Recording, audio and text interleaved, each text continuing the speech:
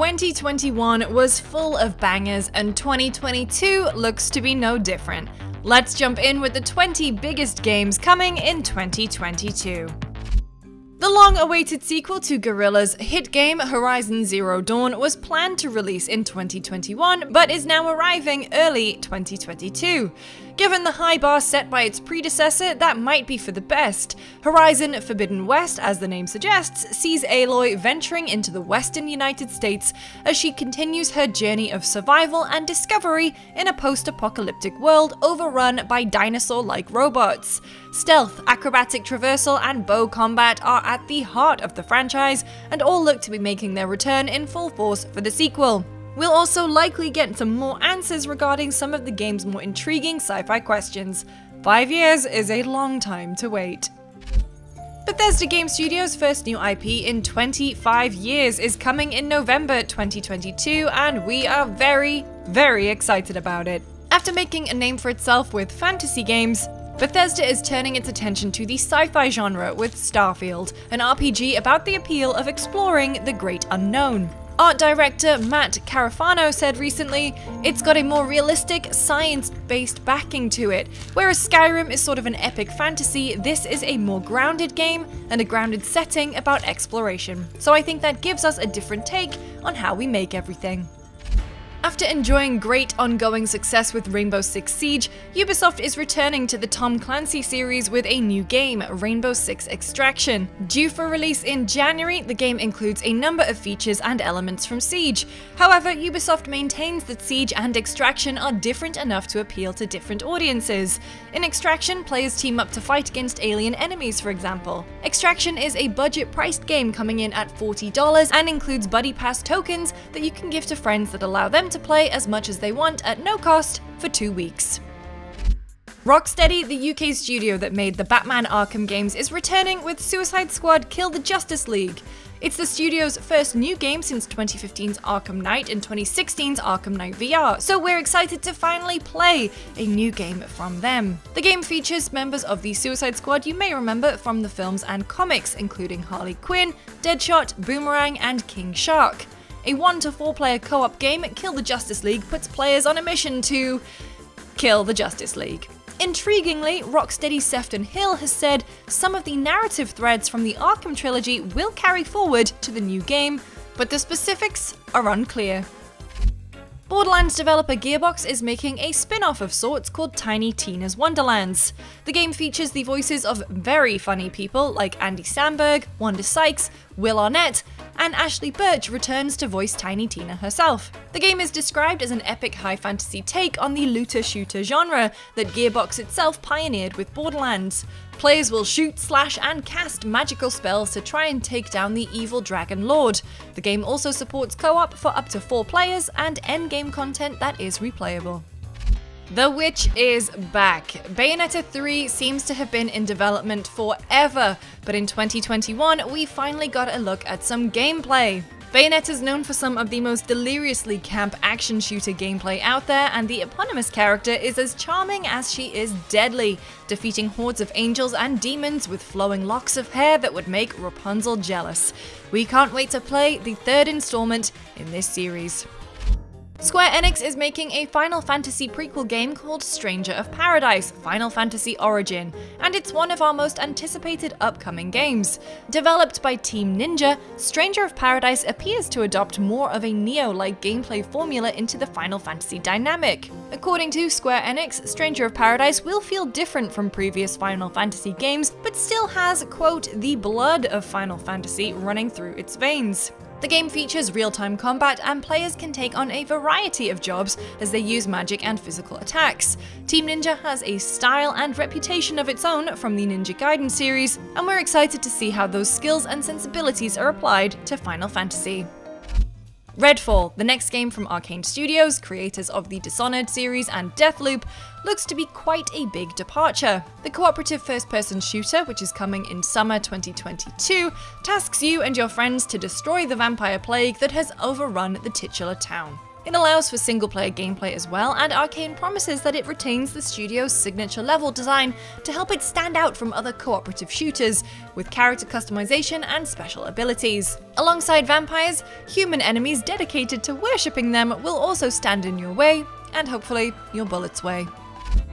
The original Dying Light from Techland was a spectacular blend of parkour-based traversal and hack and slash gameplay wrapped up within the drama of the zombie apocalypse.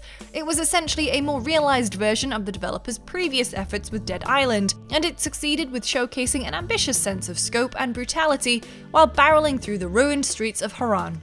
Dying Light 2 continues with many of the original's key strengths, from freeform traversal, melee combat, and overwhelming encounters with the undead. While the sequel aims to go bigger, featuring a map that greatly dwarfs the originals, the most significant change is its approach to narrative. In Dying Light 2, your actions can irreparably alter the course of the larger story and even change the layout of the world itself. By bringing together the free-form traversal and combat with an RPG-style narrative, Dying Light 2 is already shaping up to be a massive step up from the original that will ensure your actions leave a significant impression on the world. Since the release of Demon's Souls way back in 2009, developer From Software has significantly redefined itself, moving away from niche status to a real AAA force within the games industry. Their signature high-risk, high-reward gameplay has seen many imitators over the years. Debuting at E3 2019, the cryptic trailer for Elden Ring showed off a world in conflict. While not unfamiliar to the visuals and plot of the Dark Souls trilogy, the scale of Elden Ring is significantly larger and moves more towards the iconography of Norse mythology. Elden Ring brings in many of the familiar elements of a Souls game, but with an increased focus on world building. As it turns out, A Song of Ice and Fire creator George R.R. Martin, which became the HBO series Game of Thrones, you might have heard of it, has collaborated with From Software on the overarching narrative of the game.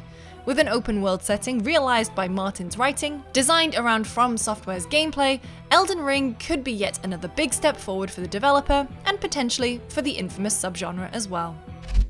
How do you follow up one of the greatest games of all time? Of course, make a direct sequel, which we don't know the official title of just yet, has us all clamoring for details, with recent trailer footage offering a tantalizing glimpse into the setting we'll be exploring, hopefully, in the near future. We've all been speculating as to what the next Hyrule adventure will entail, with folks even going over the symbolism used in an effort to decipher what the Zelda team has in store. Combine this with the potential narrative implications of the recent spin off Hyrule Warriors Age of Calamity, there are any number of scenarios that could play out. Breath of the Wild was so brilliant in part because of its wondrous sense of discovery and exploration. Its sequel will take to the skies in an exciting attempt to reach the same dizzying heights, hopefully in 2022 on Nintendo Switch. A brand new action adventure game from Square Enix, Forspoken sees protagonist Frey Holland transported from our world into a fantasy realm called Athia, where she's given the power to soar through the air and cast magical spells. It looks like a cross between the movement in a game like Marvel's Spider-Man with a much more magical moveset, and given the fidelity of the trailers and the high-speed action we've seen thus far, it makes sense that the game will only be available on PS5 and PC. But Square Enix is certainly hoping for the game to be more than a tech demo for the system, as is the new internal studio, Luminous Productions. Ghostwire Tokyo is one of the most exciting upcoming games for PS5 as it's a completely new experience for studio Tango Gameworks.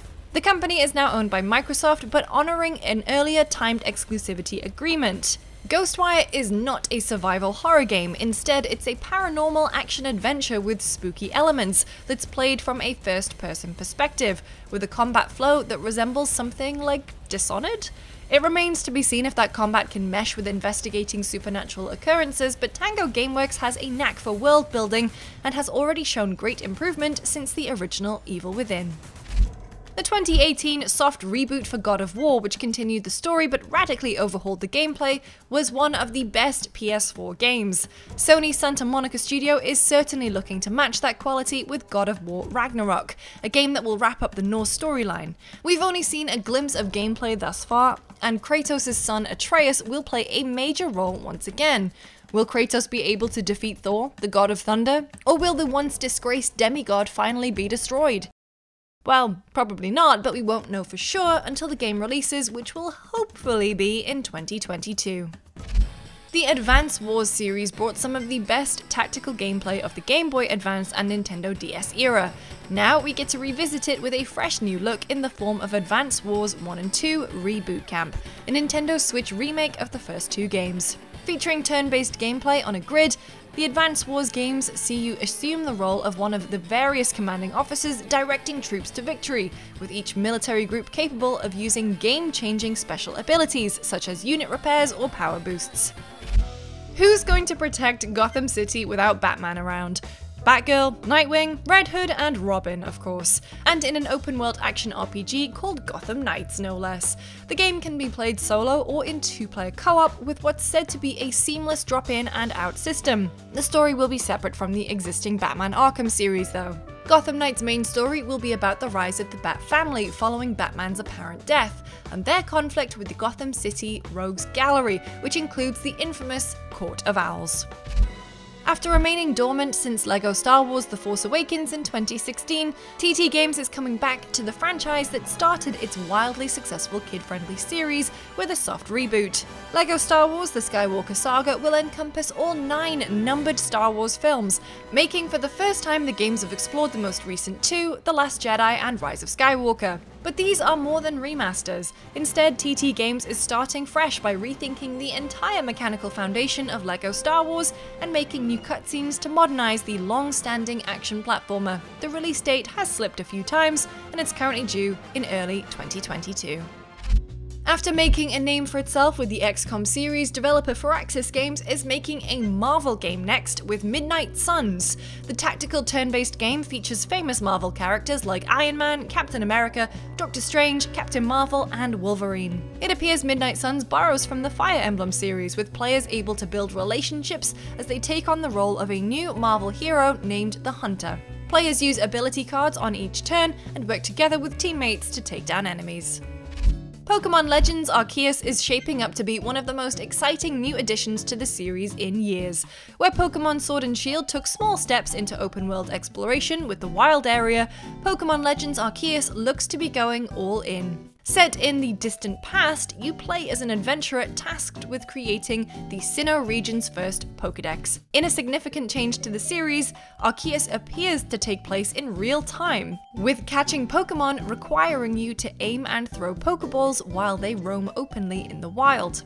Its lush, nature filled open world setting has drawn comparisons to The Legend of Zelda Breath of the Wild, a game that certainly makes for good inspiration. The focus on the eponymous Pokemon promises plenty of interesting narrative implications, as Arceus is considered a deity-like figure that created the Sinnoh region. We'll find out more when Arceus hits Nintendo Switch in January. Splatoon, the family-friendly ink shooter, is a big seller for Nintendo, so the announcement of Splatoon 3 was a welcome inevitability. The Splatoon series has captured imaginations worldwide with its bright and fast-paced gameplay, fresh music, and the hotly contested Splatfests. Splatoon 3's setting, as shown in the reveal trailer, is a Mad Max-style desert wasteland which looks moody as hell, and looks like a fascinating location for waging turf wars. One of the new weapons revealed is a bow capable of shooting ink arrows to take out opposition inklings and claim territory for your team. Both Splatoon games released so far have been brilliant fun for all ages, which is exactly what we're expecting when Splatoon 3 splashes onto Switch sometime in 2022. So there you have it, our most anticipated games of 2022. We'll always have all the latest, so make sure you like this video and subscribe. Thanks so much for watching, have a good one.